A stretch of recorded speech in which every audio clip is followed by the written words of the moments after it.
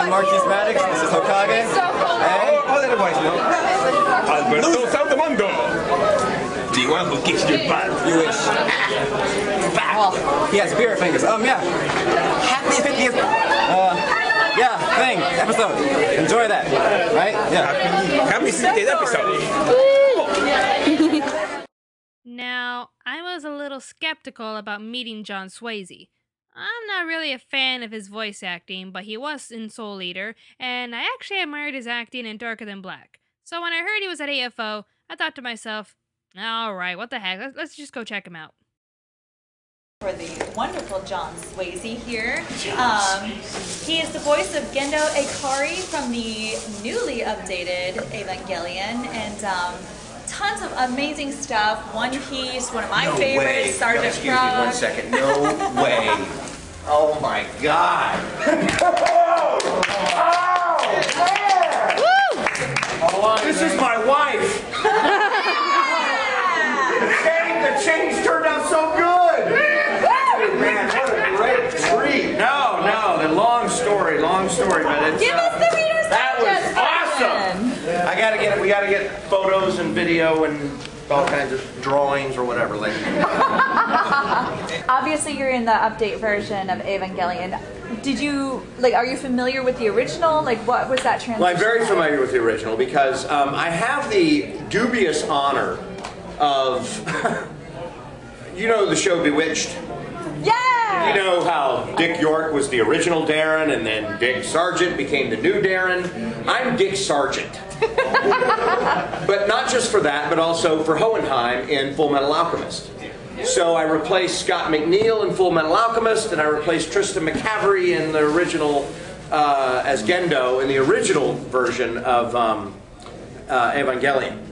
And, uh, you know, it's one of those things you're like, okay, you know, because for me, it's like, well, great, I'd love to do it. It sounds fine. They're like, well, here's the thing. Some people may hate your guts for it. You know, because, you know, you you, you find a character and you, oh, I love that character. Why did they change him? You know, so. Do you enjoy? What do you enjoy? I mean, do you find that you enjoy one more than the other, like acting on screen as opposed to being behind the mic? I enjoy being behind the mic better because I can go to work like this. um, I enjoy it all, but yeah, I think I really I love voice work. I just I love it because you can, you know. First of all, I have a face for voice work, so. You, oh come on! I'm kidding. I'm kidding. I'm gorgeous. Uh, no, I'm just. I'm.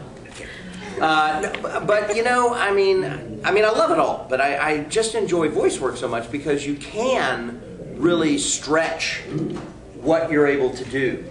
You know, I'm, I mean, don't awe, but I'm perfect. I'm not a leading man. I'm a character actor, so I'm not going to be the guy that gets the girl, unless it's an anime. this was actually a, a very much a revelation for me what you have to do, and what's really very important to do, is you can't go in and think, I'm going to recreate this character. I'm going to do it the way I'd like to do it. I'm going to make it my own. You can't do that. It's already been done. All you're doing is putting in the English. You can't change his emotion. You can't change his feeling or his, you know, whatever that Japanese actor did. You have to really emulate that. And if you don't, you've changed the story. You know, I mean, imagine if you watched A Few Good Men and Jack Nicholson and Tom Cruise are going, You want answers? I want the truth. You want answers? I want the truth. You can't handle the truth. And then it was dubbed in Spanish, and it was like, Dios, no, no, no, no, no,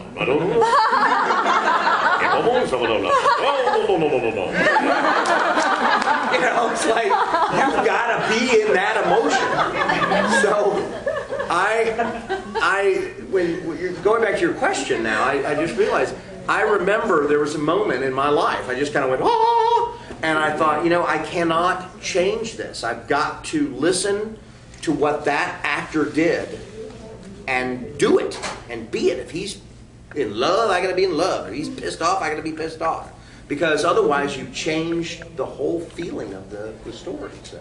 I have a question. Uh, you keep talking about all your stuff, uh, all the stories about you behind the mic and in front of the mic. But how about your experiences Inside the mic. No, in front of the camera.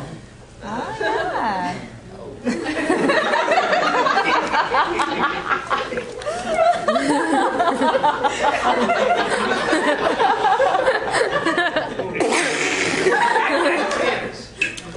Inside, in front of the camera, I, I love in front of the camera. One of my favorite roles of all time was the beer delivery guy in Dazed and Confused. Yeah. You ever saw that movie? I'm the guy that goes, "Oh, wrong, Mr. Pickford altogether." so, yes, ma'am. Um, from what you were saying about like you try out for like TV shows, it reminded me of when I found a video a friend of mine showed me of Travis Willingham on Nip Tuck. If you ever saw that, I Some know the it. show and I know Travis, but I've not seen Travis on Nip Tuck. Well, apparently he, uh, as I was watching it, I'm like, where is he? Oh dear, uh, he was the uh, the transvestite in the store. Do you have standards, or do you try out for anything that just looks fun? Aww. Are you asking? If, are you asking if I would be a transvestite? Absolutely. No, I'm just saying, like, if it, if it, like, do you have like standards? Like, do you read it? Say, oh, I don't want to try out because of this, or Like, what'd you do? I have um, absolutely no standards whatsoever. I will do anything. Would you do hentai? have you done hentai? Would you do it with me? I uh, yeah, I've done a little bit. right on. I've done that was uh, well, it wasn't so much hentai as it was um, a scene in a show where Carl, Carl Masick was directing it. He was an ADV, and my character was this badass who gets a little lip service from a female. And I had to portray the enjoyment of that. So, Was that weird, or you're like, I'm on, I'm totally on right this? Uh, yeah, it was very weird. I mean, you know.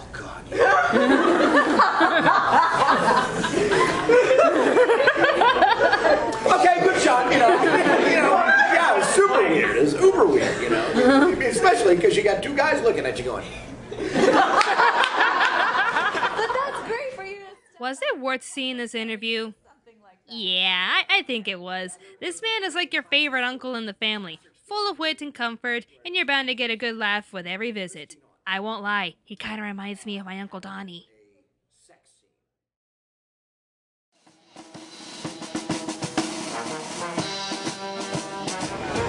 Look at that! Disneyland!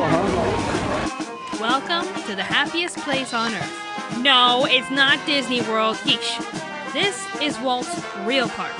What other park in the world can you say you've been to that Walt Disney himself has walked through? This was his dream, and it started here.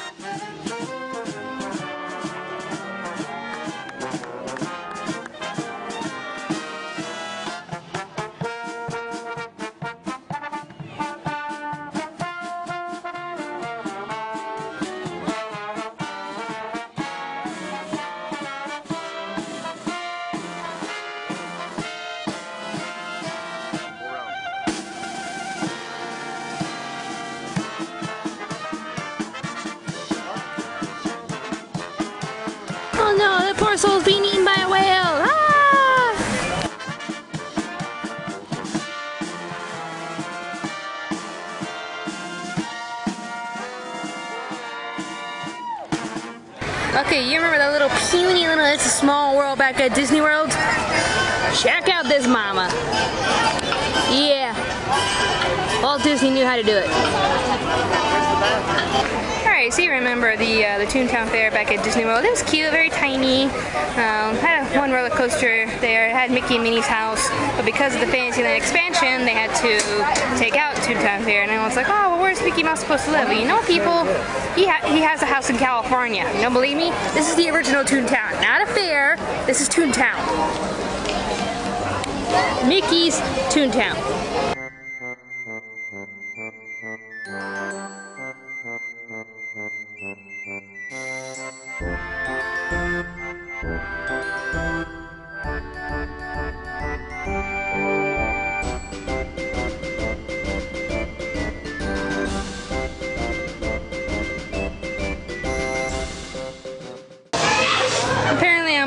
You guys that upset that I didn't release the top 32 16 minute of anime fast enough?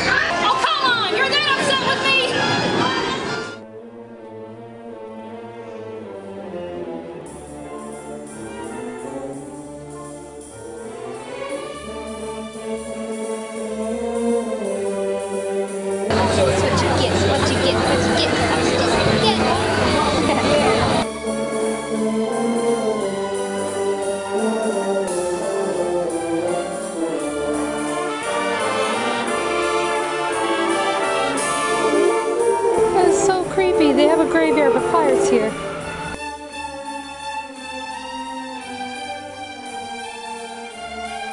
If I'm on this bridge, should I be talking like Jim Hawkins? Get it? A bridge? Ha! Ha! Ha! Yeah, shut up.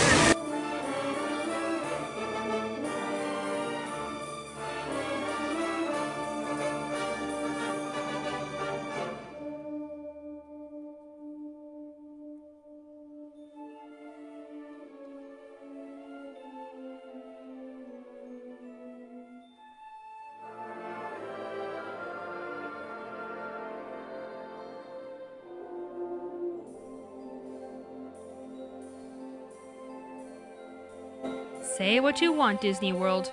Disneyland will always be the best Disney park in the world.